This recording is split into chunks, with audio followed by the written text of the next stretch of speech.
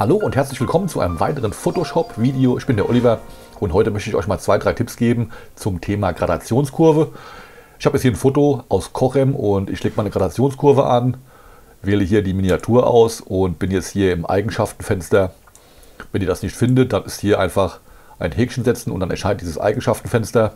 Und ich werde einfach mal einen Punkt setzen, die Gradationskurve hochziehen, damit ich hier ein bisschen mehr Licht kriege. Und hier unten in den Mitten und Tiefen, da gehe ich wieder ein bisschen runter weil die mir ganz gut gefallen. Vorher, nachher.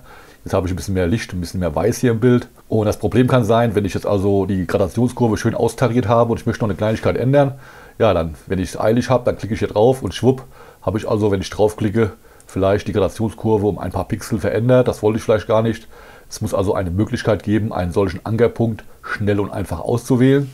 Das geht auch, ihr nehmt nämlich einfach die Plus-Taste auf der Tastatur. Also ich drücke mal die Plus-Taste Jetzt ist ja hier dieser Punkt ausgewählt, plus, jetzt ist der Punkt ausgewählt, plus.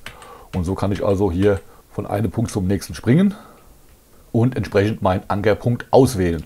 Und wenn ich jetzt so den Wert ändern möchte, kann ich einfach rübergehen mit der Hand und jetzt die Cursor-Tasten nehmen, Cursor-Taste hoch, dann geht der Ankerpunkt hoch oder runter geht er runter, links oder rechts. Und wenn ich die Shift-Taste dabei gedrückt halte, dann sind das entsprechend größere Schritte, links, rechts, hoch, runter. Und so könnt ihr also ganz wunderbar und blitzschnell hier einen Ankerpunkt auswählen und in Windeseile etwas in der Lage verändern. Okay, das war mein kleiner Tipp für heute zum Thema Gradationskurve. Wenn ihr was gelernt habt, gebt mir einen Daumen hoch, abonniert meinen Kanal und tschüss bis zum nächsten Video.